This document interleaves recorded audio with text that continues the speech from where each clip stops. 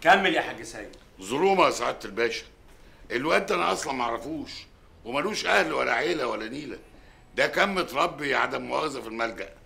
فأنا صعب عليا وقلت آخده واشغله أو يستلزق بدل ما هو متنايل في الشوارع كده. دي كل الحكاية بيه بس البلاغ المتقدم في ورقة جواز عرف باسمك وبناء عليه عملنا المحضر هي متزورة يا سعادة الباشا الورقة دي. إحنا مش جهة اختصاص تقول مزورة ولا لأ.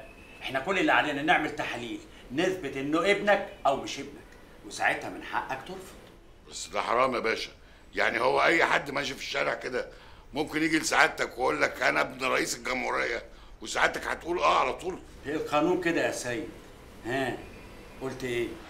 أيوه مدام دلال. التاجر اللي اسمه الحاج خليفة عليه شيكات وكمبيالات بحوالي 3 مليون جنيه وهيبقى يجي يدفعهم. أديني بلغتك أهو زي ما قلتيلي. والباقي عليكي بقى. ماشي يا فرح. التاجر ده أصله حبيبي قوي. من أيام ما كنت شغالة سكرتيرة في الوكالة. تمام.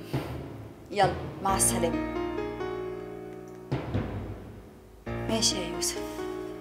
أخيرا جه الوقت اللي اديلك كل الاقلام اللي أنت اديتها لي. كده بقى نبتدي اللعب. كويس إنك جيت يا يوسف. الله ما أقدرش أسيبك في الظروف دي لوحدك يا حاج. قول لي عملت إيه؟ يعني قالوا لي أروح مستشفى هم قالوا لي عليها هياخدوا مني العينة اللي عايزينها دي. بلاش يا حاج ما بلاش ليه؟ وأنا خايف من إيه في العينة دي؟ أنا أنا بقول يعني أصل أنا خايف الطوبة تيجي في المعطوبة. ويثبتوا إن هو ابنك. طوبة إيه ومعطوبة إيه وخيبة إيه؟ يا ابني أنا متأكد إن الواد ده مش ابني. طب خلينا نشوف حل تاني. بلاش حكاية التحليل دي بالذات يا حاج.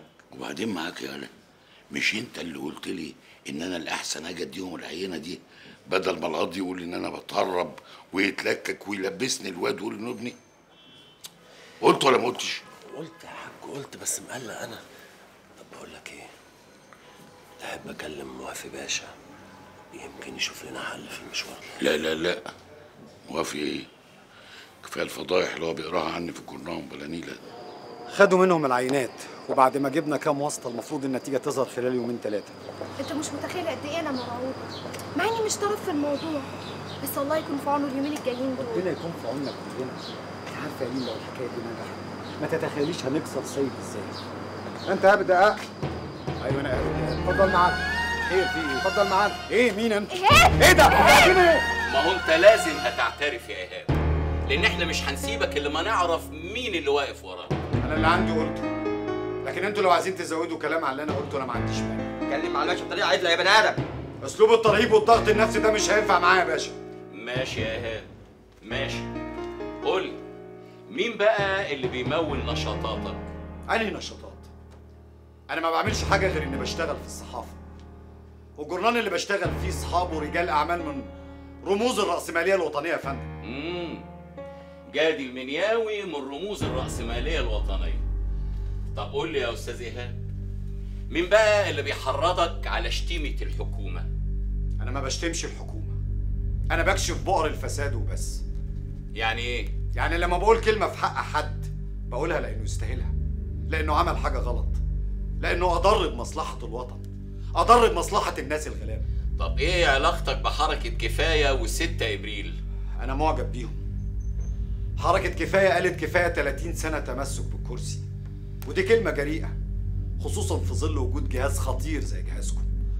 و6 أبريل مجموعة من الشباب حسوا بأحوال البلد واللي بيحصل فيها وبسببكم برضه. عشان كده رفضوا السكوت. برافو برافو يا أستاذ إيهاب. الكلام العظيم اللي أنت قلته ده يرشحك لرحلة ورا الشمس. وأنا هكون أحسن من مين يعني؟ ما أنتوا معتقلاتكم مليانة بشرفاء البلد. يعني عادي. اللي بيقرب من الخطوط الحمراء اللي مرسومه لكم يبقى بيدمر نفسه وانت تخطيتها الأستاذ يوسف نزل لحضرتك دلوقتي. أوكي يا حبيبتي.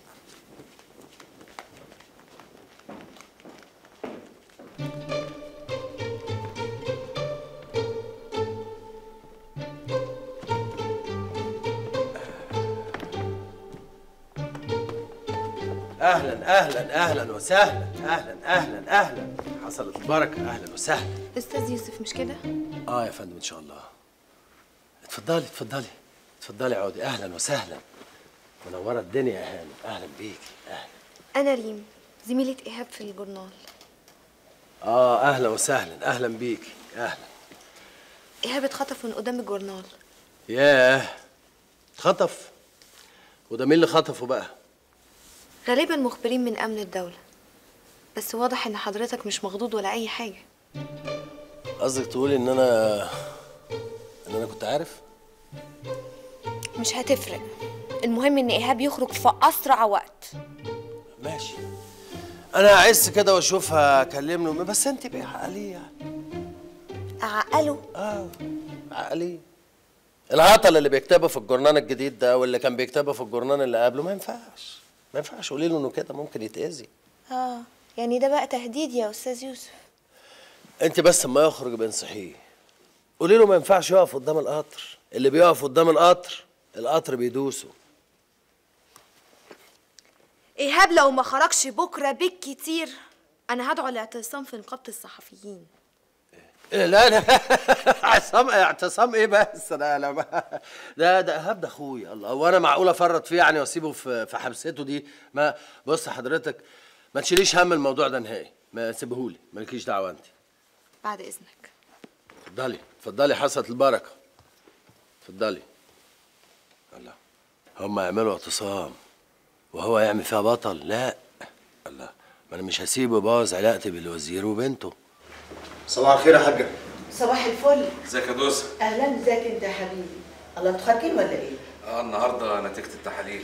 ادعي لنا بقى.